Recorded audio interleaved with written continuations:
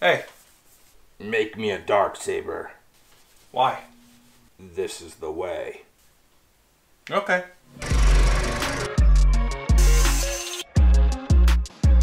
Ah, So cool. The year is 1977. You go with your parents to the old cinema. You sit in the theater, you have your box of popcorn, lights start to dim, and just before the credits roll, you have a feeling that cinema history is about to be made. But I wasn't there. The year is 1999. Your parents have VHS tapes that have almost been worn to being unusable. I see an ad for Star Wars The Phantom Menace, sure to be everybody's new favorite Star Wars movie, with such memorable characters as that one droid and that other one as well, and everyone's favorite, Jar Jar Binks. History was made that day, wasn't it, George? No, not really, no, no. No. But anyways, you grow to love Star Wars. You read audiobooks, you read articles, you look up lore videos, and there is on today, there is so much Star Wars media that is hard to keep up. That is why when my brother said, "You should make the dark saber." I go, "What? From the Clone Wars?" And he goes, "No, from the Mandalorian. It's in the Mandalorian, it's in the Book of Boba Fett." So I start looking it up and I go, How have I not seen this? This thing is awesome. I was trying to find a 3D printed handle. I went on Etsy and I was able to find a 3D printed version. I wish I had a 3D printer. Hint, hint, Zach. It's a lot more accurate than I can make carving out of aluminum. And they're pretty cheap. You can get them around $20. My first mistake was I got this one here. And unfortunately, this one, the one that I got, is it's the one from Star Wars The Clone Wars. It's not the dark saber from the actual Mandalorian. Duh, Joe. So, I went out and I found another one. One good thing about this, the internals were all able to be slid in and out. So that's where I went with the second dark saber handle. So, on with the project, you think. Start cutting the plexiglass for the blade, start working with the LEDs, and here's where the trouble starts. The LEDs only have about 36 lights in the string that I was using. Now, if you go to professional saber builders, which that is a thing, they are using a thing called NeoPixels. NeoPixels have 144 LEDs a per string, but this one only had about 30. So when you use it, the lights you can completely see dot, dot, dot. They look terrible. So, had to go back to the drawing board. Now, if you've been waiting for a video, you've been waiting a while. This dark saber is probably one of the most intensive things I've ever had to build. Anyways, guys, on to part two of the build where I actually get something done. The next step on our agenda is going to be opening these up after I taped them all together and we are going to actually carve out the center of three of these strips of plexiglass. We went out and we bought ourselves some NeoPixels. So we're going to carve out the center of these strips. We have a hollow core inside our light, and that should give us enough room that we can then go on and uh, put our NeoPixels in. I don't know if you could see that, guys, but look at that, those LED diodes. Those things are like wicked close. Probably want it about there. I think that's about as safe as, as far as we're gonna get, guys. Get these glued together, and we are going to get rolling. So I know it looks like a modern art sculpture, but this actually did work pretty good from what I can tell. So we're gonna start pulling the clamps off here. Looks like this was a success. So, the blade, which will be the inners, is all sanded and finished. It is a little warped, so we are going to cut out our inside, which you can see here, we have it all marked out. And then when we glue that to one of our outsides, we are gonna make sure that we are gluing it down to the table, which is flat. So hopefully all that twist and all that turn will be pushed out of it. Oh you are, you are covered in stuff. I'll brush you off.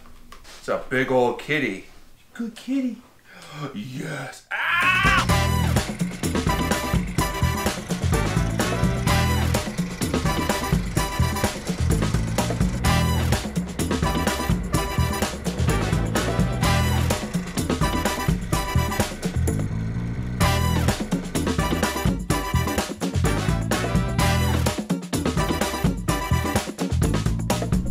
I'm here with my crazy cat. It's time for our next step, which is going to be cutting the LEDs and soldering two of them together on either side. Now you might ask me this, why don't you fold the LEDs over so that it just goes along the backside? Well, the reason for that is if we think about a lightsaber, the light grows up the LED blade. Essentially, if you did that, it would grow up the LED blade, then go back down the LED blade. We don't want that. So they're going to be wired together at the beginning of the blade so they both turn on at the same time. Our next step is for us to take these two LED strips and we are going to lay them together. There we go. Now they are one LED strip with on both sides. We are basically going to crisscross these wires. A little bit of a conundrum I ran into is I've got an LED strip here, I've got a blade gluing up over there, but how was I actually going to power this? If I just plug this into a battery, it's just going to turn on, won't make any noise, won't do anything. Now in the future, I plan on doing a full lightsaber blade, like a full this is pretty much from scratch, but the internals are not. For this build though, I decided to go with a company that's already making them. We're gonna have to do a little bit of retrofitting, but I got this. This is made for a lightsaber that has like a hollow tube filled with like, I don't know if it's like styrofoam or what they do, but they, uh, it's not for LEDs like what we're doing. Yup, that's me. I bet you're wondering how I got here. Well, I'll tell you. Buying cheap Chinese lightsaber parts, the wires so thin, might as well have been tinfoil. And that board, that board, well, I gotta tell you, folks, they're not able to be wired to NeoPixels. Who would have known? Me, if I had done any research. Good morning, guys. We are back. It's actually been about two weeks. In the video, it's been three seconds, but in, the, in reality, it's been like a week and a half since I've worked on this thing. My brother came down for Easter. We had a lot of fun, and I didn't have this, which is the lightsaber control board. Now, the big issue with this is that these lightsabers need a specific board if you're going to run NeoPixels. And uh, if you don't have a special board, like this one from the Custom Lightsaber Shop, it's not going to run. Time for the big boy from the Custom Saber Shop. Oh, that's cool. I made a J.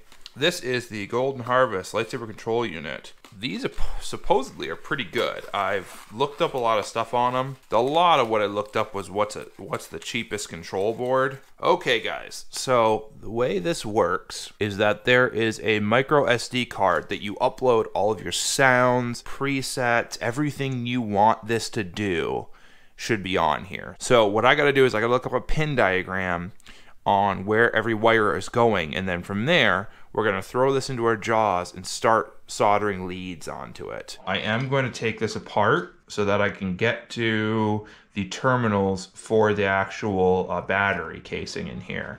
And I'm going to solder the battery terminals right to here, leaving them hanging, and then go right to the board.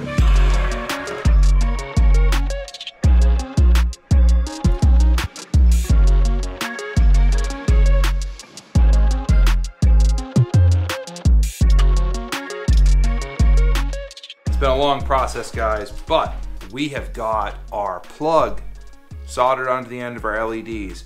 We have got our control board all soldered up with extra length of wire for the other side of that plug, the female end. The thing that's next is for us to roll the spinny wheel of what we're doing next. And that's going to tell us if we are A, going to do a reveal of the lights, or B, we're going to do some boring computer stuff. So let's spin the wheel. Wow. Wow, look at it go. Wow, guys, that's a lot of fun. Oh, oh, oh, oh, oh. There we go. Oh, come on, That's man. what we're doing next, guys. And hopefully it's not too complicated, but I'll be there with you the whole time. Give me a systems display. Section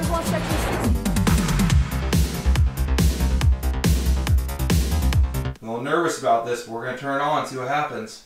Three, two, one. Oh, hold it. And nothing.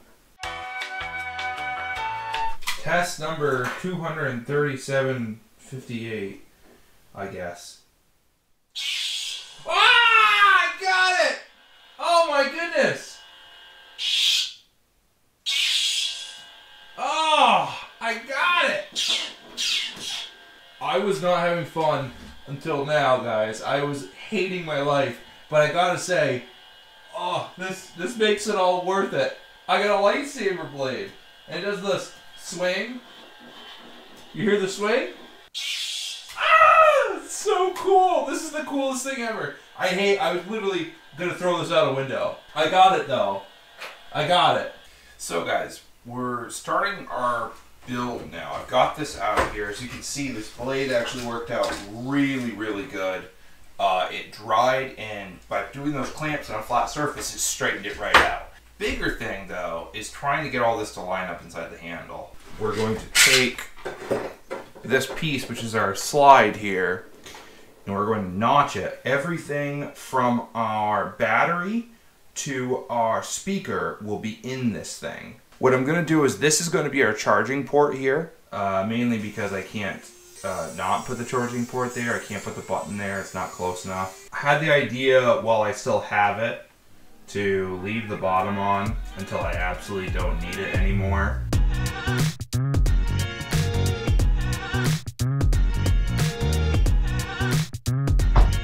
It's me. I'm back from Harbor Freight. I figured out the solution, guys. So this whole time, I've been trying to figure out how we can put this in so we have the handle and the blade are separate, just so that we can attach them all. How I'm gonna do that is these. These are for speakers. They're a little teeny, teeny, tiny clip. I'm actually cutting the sheathing off. So basically what I'll do is when I'm all ready, when I'm all done, I will clip them all together, heat shrink them, and then if I ever need to pull it apart, I just gotta cut the heat shrink off. So it's not a big deal. Our next step is going to be to cut the rest of these off, attach them to the blade, Oh yeah. put our metal stripping inside the blade so that it can't shine through the sides, and then we are going to glue the blade up, set that to the side, wait for it to dry, and then the blade's done. Okay guys, so this piece is in here real nice. Uh, the whole unit slides out perfectly. I couldn't have asked for it better. So I've got enough leads on here that I should be able to connect it. Essentially, when we're done, this whole piece here will be attached right to the guard, which will be attached to the blade. And then this will all be one unit that will slide in. And this essentially will just be a cover. That's our next step is to lay our LED strip into the blade and we'll end up with just these coming out of the end, dangling out of the end.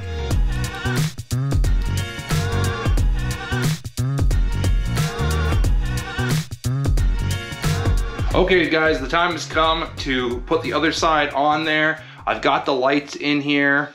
Uh, I did a little test, they look pretty good. That does look really good, guys. Uh, so we are going to put the aluminum tape on the other side of the handle, sand this up so it will stick, and then we'll glue it up. Uh, we're gonna let this sit overnight in our clamping system, which is just a bunch of screws and mending plates, but that's what we're doing next. And then next time you'll see me, I will have a fully glued blade. Okay guys, I got it all mocked up to show you. Oh my goodness, this was a lot of work. Check that out. This thing fits on here like flawlessly. We got the wires coming out of the end. This piece gets connected to the internal rail. So when we're done, it will basically be these connected to the internal rail will all be one piece. I'm gonna fill this with epoxy so it's on there. Check that out though, it's all sanded and fogged. So, you know, the light will be diffused going through it. It's got the aluminum tape, so we're not gonna see a blinding row of LED lights right in the middle. It's only gonna glow out the sides. And then on top of that, we are ready to paint the blade Vantablack. Did I say painting? I meant sanding. So uh, what we're gonna do is we are going to put some glazing putty on it, and I'm gonna do this all on a time lapse. If you guys want to watch someone uh, show how to smooth out 3D printed, there's a million other videos that are more interesting than this. And then from there, I'm gonna get out our metallic paints and then I'm gonna start going for it. I'm just gonna start going for it, guys. Okay, so we've got that all covered. It looks like mud, unfortunately. Our next step is for me to lay out some painter's tape on our blade. That way we can peel it off once the Vantablack, I'm sorry, Black 3.0 is on there. Black 3.0. the world's blackest black. We're gonna get going on this, and then yeah, we get to paint it. I've actually got these little spray systems. I've never used one of these before, but I'm better with a spray can than I am with a brush. So we're gonna put some tape, kind of make a cool little design up the blade, and then we're gonna spray it. We're gonna sand this, and we're gonna slap it all together, and we're done.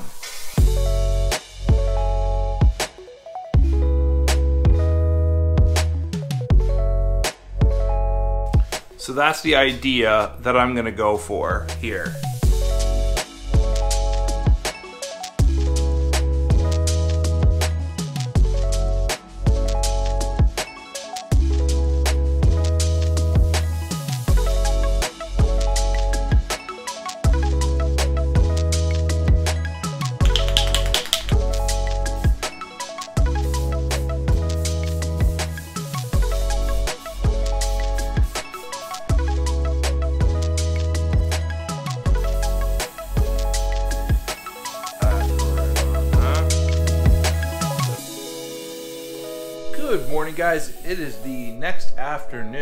Know that intro doesn't make any sense, but everything is dry. Take a look. Man, I do not know if that is the blackest paint in the world, but it's pretty darn dark. We're gonna peel the tape off, and we're gonna put this together. And once that's done, the only thing that's left is doing detail finish work. There we go. That's in there.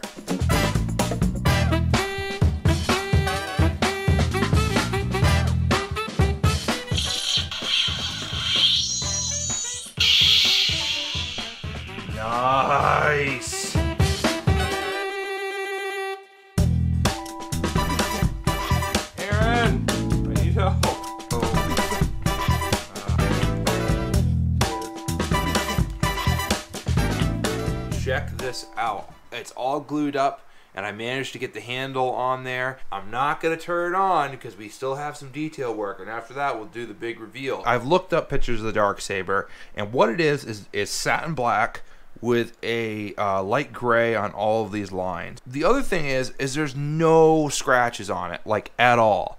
So I want to go through and kind of add some of the like the really bright silver in some certain areas that I would say would probably have wear and tear, like maybe a few little scratches here. It's not super accurate to the show, but I want to do it for myself. As a prop, I think it will look better.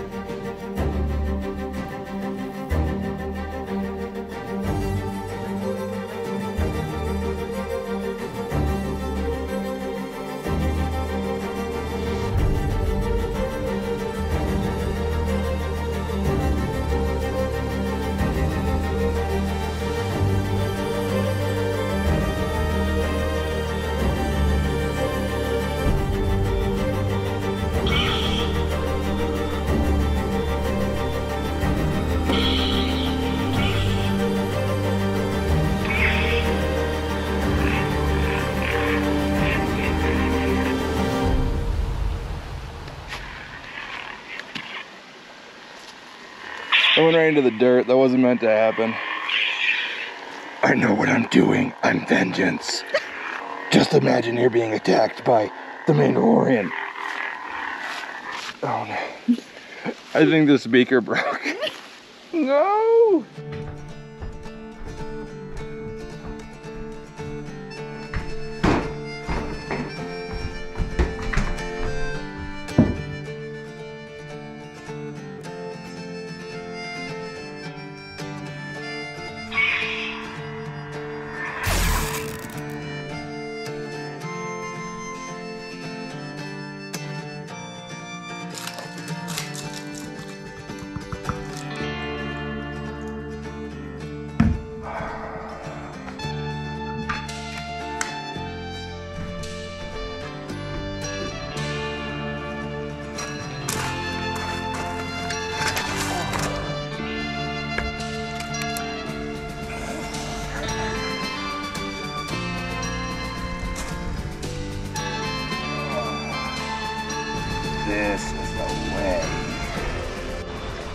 Well, guys, that's the end of the video.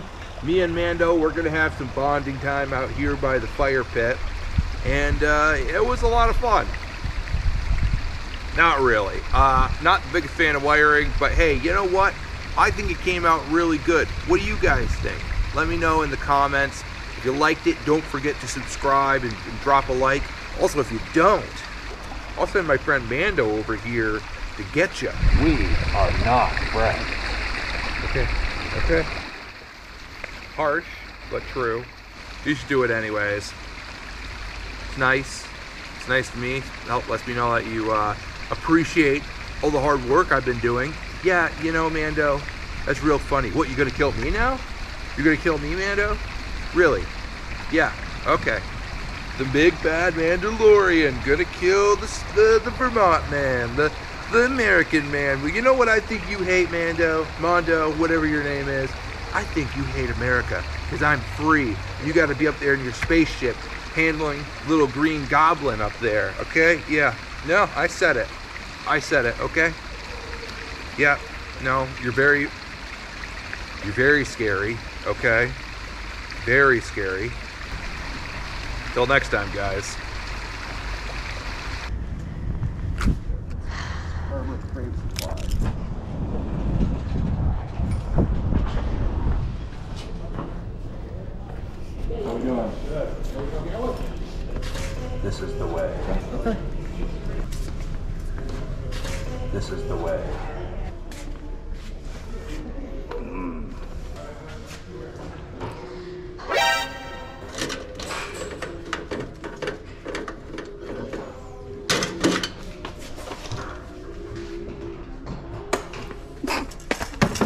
Joe.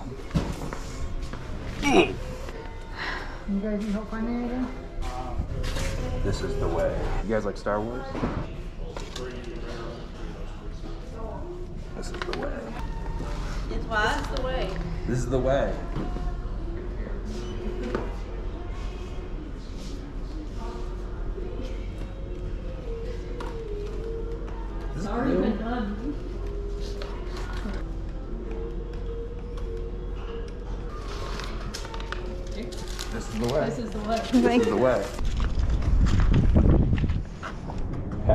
To him. Oh my gosh.